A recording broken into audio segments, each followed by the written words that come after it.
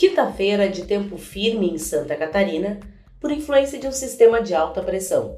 O sol aparece entre poucas nuvens em todas as regiões, porém no litoral a nebulosidade pode aumentar em alguns aumentos devido à maior disponibilidade de umidade. Não há risco para ocorrências associadas às condições de tempo. Temperaturas mínimas entre 5 e 9 graus no Planalto Sul e no meio-oeste. Nas áreas litorâneas e no Vale do Itajaí, o dia amanhece com temperaturas entre 13 e 16 graus.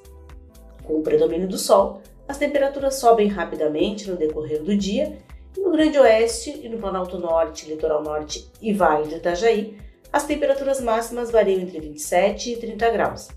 Nas demais regiões, ficam entre 23 e 26 graus. Presença de sol em meio à nebulosidade variável no litoral norte devido à maior presença de umidade.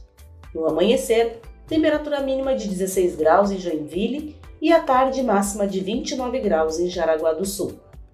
Da Defesa Civil de Santa Catarina, meteorologista Francine Sá. Defesa Civil, somos todos nós.